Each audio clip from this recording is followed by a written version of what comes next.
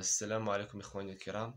نتمنى من الله عز وجل أنكم تكونوا بصحة جيدة. آه، في هذا الفيديو إن شاء الله آه، نبغي نشير واحد النقطة مهمة آه، هو أنه من بعد التسجيل كما كتعرفوا وكتجي لمرحلة المصادقة. قبل المصادقة كنختار المديرية اللي بغيت أنايا. الأغلبية كيتسنى المناصب الشاغرة. المناصب الشاغرة هي الخصائص اللي كتطلب اللي كاين في كل مديرية كتعلن عنه المديرية و...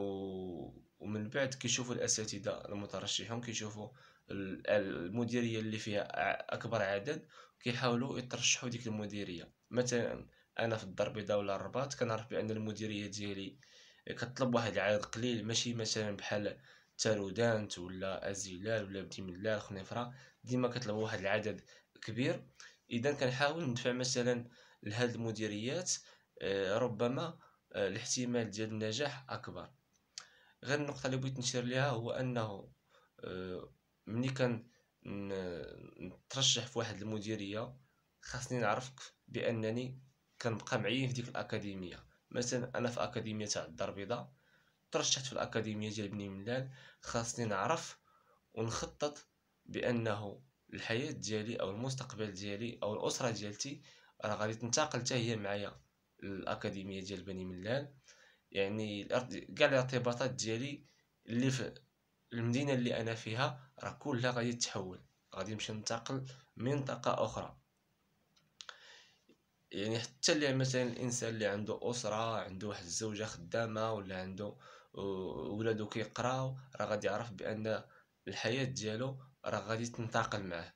يعني غادي ينتقل حتى هو مثلا لمديرية جديدة ولحد الآن راه الانتقال من أكاديمية لأكاديمية راه ما كاينش. يعني أنت كتولي موظف متابع لديك الأكاديمية الجديدة اللي انتقلتي ليها نعطيكم مثال. أنا في الدار البيضاء ودفعت الاكاديميه تاع بني ملال يعني أنا كنت كاري في الدار البيضاء كنت خدام كانت الزوجة تاعتي هي خدامة في الدار البيضاء. الأولاد ديالي كيقراو في الدار البيضاء ولفت العمل والأجواء تاع الدار البيضاء. دفعت المديرية ديال مثلا تارودانت ولا أزيلال ولا خنيفرة لأنني شفت العدد كبير.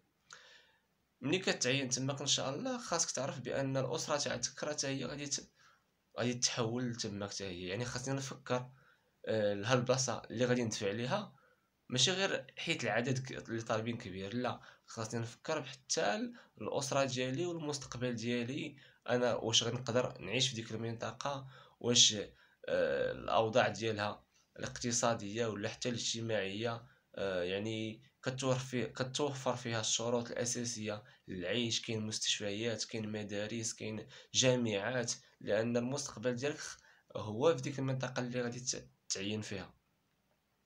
لذلك يعني من ما يسيرنيش عدد المناصب الشاغرة ونمشي لواحد الجهة اللي اللي ما عارفاش واحد المنطقة اللي ما عارفاش راه راه أحيانا كتمشي تعين في منطقة جبلية آه، المناخ تاعها بارد ما كاينش الوسائل الضرورية للعيش ما كاينش المستشفيات ما كاينش الجامعات يعني كت كتضحي براسك وحتى الأسرة تاعتك كتكرفس معاك وكتولي تقول آه، ربما الحياة ديالي قبل كانت أحسن. كنت في المدينة كان كلشي قريب ليا حدا مالي الدار حدا كلشي. ولكن من بعد التعيين آه، كتواجه صعوبات كثيرة. لذا الإنسان يفكر مزيان عادي يختار المناصب.